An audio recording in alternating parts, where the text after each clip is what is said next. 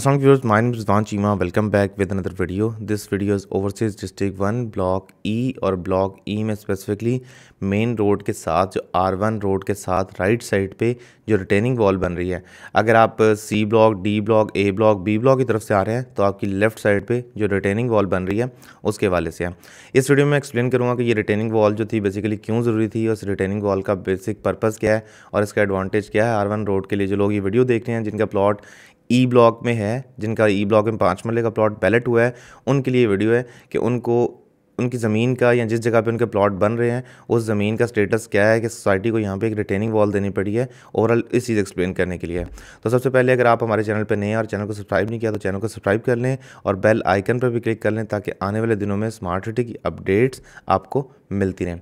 Right side पे जो आपको रिटेनिंग वॉल नज़र आ रही है बेसिकली इस वॉल की जो विड्थ है, वो है फोर फीट और लेंथ है वो जो आर वन रोड के साथ जहाँ जहाँ ई ब्लॉक जाएगा, वहाँ वहाँ ये रिटेनिंग वॉल बनेगी। इस रिटेनिंग वॉल बनाने का मकसद ये है कि इसके साथ, यानी कि राइट साइड पे जो ई ब्लॉक के प्लॉट्स हैं, जो कि रेजिडेंशियल प्लॉट्स हैं, और मैं अगर स्ट्रीट वाइज जाऊँ तो street four five six seven eight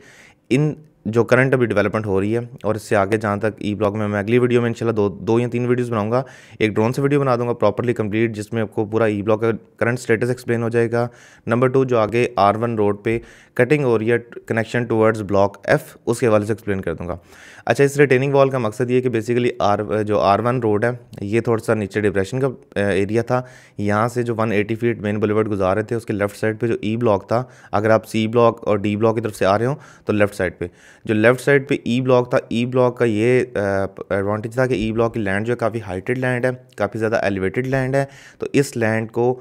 comparison करने के लिए अगर हम आर वन को देखें तो आर वन डिप्रेशन फील होता है। वैसे भी सोसाइटी ने स्मार्ट सिटी ऑफिशियल्स ने मैंने एक बात नोट की है प्रेफर किया है कि जहाँ जहाँ पे डिप्रेशन हैं, वहाँ वहाँ पे मेन रोड्स गुजारे गए हैं। फॉर एग्जांपल सबसे बड़ी एग्जांपल उसकी ये है कि आर वन रोड और जो एक्सेस वन रोड का जंक्शन है ए ब्लॉक के सामने, वहाँ पे तकरीबन 200 से 250 फुट की डिप्रेशन थी। सोसाइटी ने अगर आज आप जाके देखें तो वहाँ आपको महसूस नहीं हो सकता कि वहाँ कभी डिप्रेशन भी थी। सेम लाइक दिस, ये जो पार्ट है, जो आर वन रोड है, यहाँ से ये अच्छा डिप्रेशन का पार्ट था तो सोसाइटी ने यहाँ से मेन रोड तो निकाल लिया, अब लेकिन अब ई ब्लॉक के रेजिडेंट्स की सिक्योरिटी के लिए और उन लोगों को एक अच्छा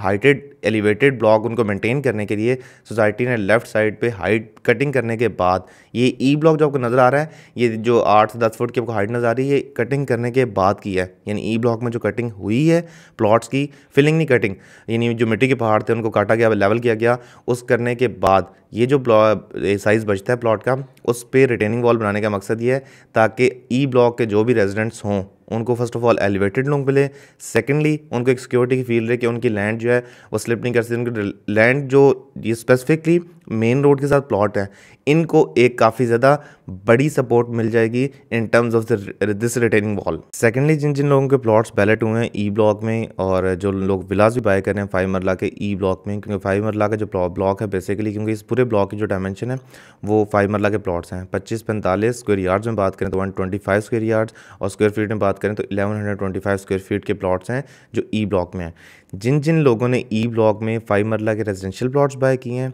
और जिन जिन लोगों ने यहाँ पे फाइव मरला के विला जो सोसाइटी बना के दे रही है इट्सल्फ, जिसका अभी करंट रेट जो लॉन्चिंग प्राइस है वो जो इनकी अभी करंट प्राइस चल रही है चाहे फोर बेडरूम की जो प्राइस है वो बनती है नाइन्टी सेवन लाख रुपीज़ जिसकी बुकिंग सिर्फ़ nine lakh seventy thousand rupees है और जो थ्री बेडरूम की प्राइस है वो बनती है ninety four lakh and eighty thousand rupees ये जो प्राइस मैंने आपको एक्सप्लेन किया ये जो प्राइस है, ये इंक्लूडिंग ऑल द चार्जेस यानी कि इसमें आपको घर की कीज़ हैंड ओवर होंगी विद स्टैंडर्ड इंटीरियर और इसका स्टैंडर्ड इंटीरियर मैंने इसलिए मेंटेन किया कि कुछ लोग चाहते हैं कि अपने घर में चीज़ें ऐड कर लें एग्जेक्टिव इंटीरियर ऐड कर लें तो उसका वो पे ऑफ़ करके पे ऑन करके आगे ऐड करके पैसे वो अपना एग्जेक्टिव इंटीरियर भी कन्वर्ट करवा सकते हैं। बहरहाल, जो भी ई ब्लॉक के रेजिडेंट्स हैं, जिनके प्लॉट्स हैं या जिन लोगों ने यहाँ पर विलास बाय करने हैं, उनके लिए अच्छी खबर ये है कि इस एरिया में लॉन्ग टर्म में जाके एक अच्छी लैंड के साथ साथ उनको एडवांटेज ये मिल रहा है कि वो बिल्कुल आर वन रोड के ऊपर आ रहे हैं। आर वन रोड है बेसिकली वो कनेक्टिंग रोड है with the main entrance road two और एंट्रेंस रोड टू जो है वो बेसिकली रिंग रोड मेरा शरीफ इंटरचेंज से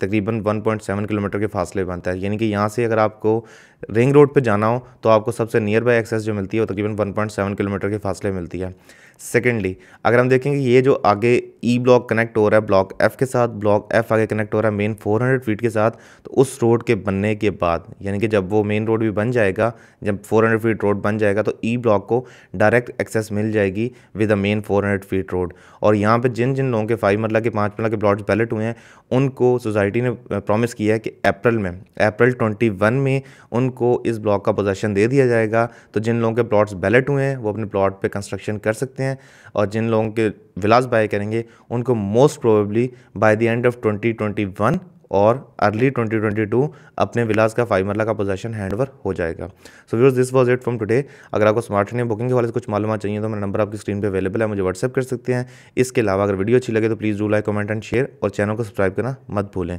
रिजवान चीमा को दीजिए इजाज़त, अगली वीडियो तक के लिए खुदा हाफिज़।